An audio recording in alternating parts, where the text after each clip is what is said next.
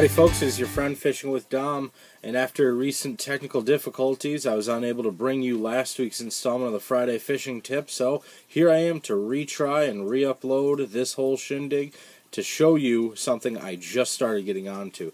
This is a homemade catfish bait recipe that I once would have thought is totally bogus, totally wouldn't work, but I gave this a shot, and this really does catch giant channel catfish and even flatheads in some part of the country.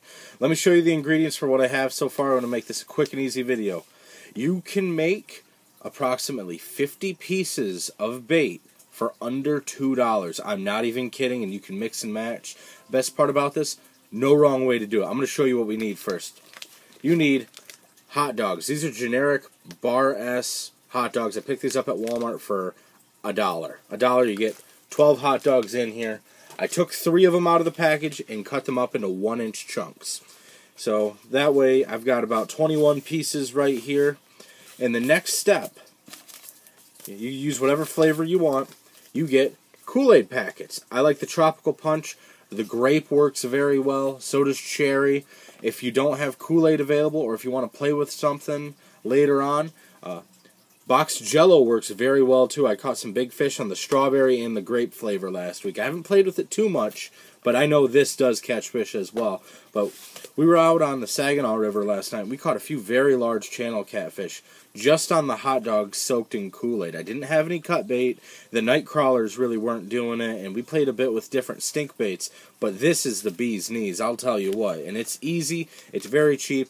It stays on the hook. The only con to it, it's a little dirty, so I recommend getting a food handling glove or uh, a plastic bag to put around your hand when you're baiting your hook, just so your hands don't get all dyed. So all you'll do is open your bag, and you, you're going to take your hot dog chunks that you already have diced up, you're just going to put them right in that bag. Come on now. There we go. Halfway done. There they are. Got all the hot dogs in the bag. Let's separate them around a little bit. They're sitting just like that. Now, Tropical Punch has been my best flavor in the since I started doing this. Grape works very well too, as I've said before. You just take two packets for about every three hot dogs. And you open the packets, and then you open them both up, and just pour them, pour them into the bag just like this. Now, these Kool-Aid packets are found just about anywhere. Uh, very, very cheap. They're about a quarter a piece. You know, with the hot dogs, it's $1.50 for a lot of bait. You zip this up.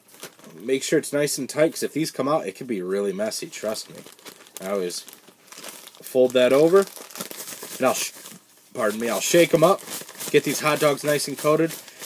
And as far as prep time goes between when you make this and when you fish with them, try to give it at least an hour. Uh, that's relatively very soon compared to a lot of prepared baits that some catfish anglers use. But you just shake the bag around like that. Make sure those hot dogs are nice and coated with that powder. They're going to look a little dirty, a little bit red, just like this. We're going to come back in an hour and we're going to see where they are from there. And hopefully you'll be surprised as I was. All right. Just like that, they're all shaken up. Let's just wait.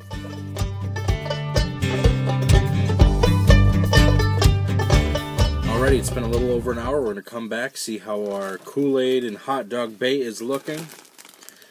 Now, compared to before, there's a lot more liquid pooled up inside the bag. You know why?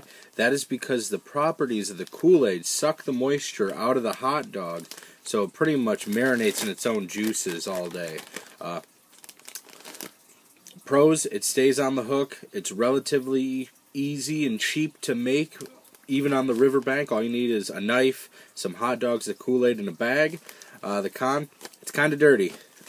Definitely kind of dirty. Let me pull one out of here for you, just so we can get a good look at it. Shake it off. Just a nice little piece of hot dog. Got this nice, firm red dye on it. it smells really sweet, too. This is the fruit punch flavor. I'm actually going to go try it tonight. Wish me luck.